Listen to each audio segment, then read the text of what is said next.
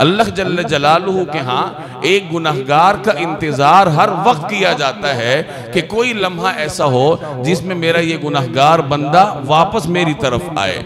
कितने प्यार भरे अंदाज में अल्लाह ताला कुरान करीम में गुनहगारों से मुखातब हैं कि कुल, ए पैगंबर, आप कह दीजिए किन को या इबादीन असरफ, मेरे उन बंदों को जिन्होंने अपने ऊपर जुल्म किया है, जो हद से तजावुज कर चुके हैं।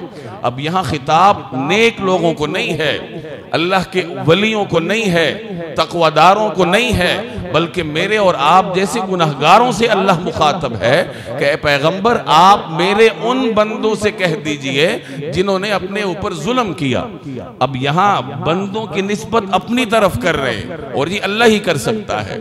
एक बाप का बेटा अगर नाफरमान हो तो एन नाफरमानी की हालत में जब वो बगावत पर आमादा हो तो बाप उसे प्यार से मेरा बेटा नहीं कहता। माँ नाफरमान बेटे को मेरा बेटा नहीं कहती।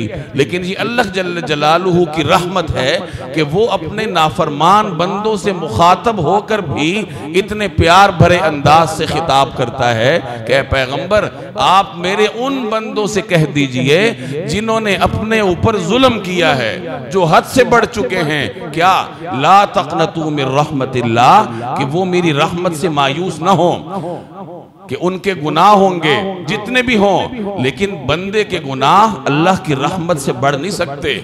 मैं और आप अगर रोए ज़मीन को अपने गुनाहों से भर दें, अल्लाह तबारक व की रहमत फिर भी उससे वसी है।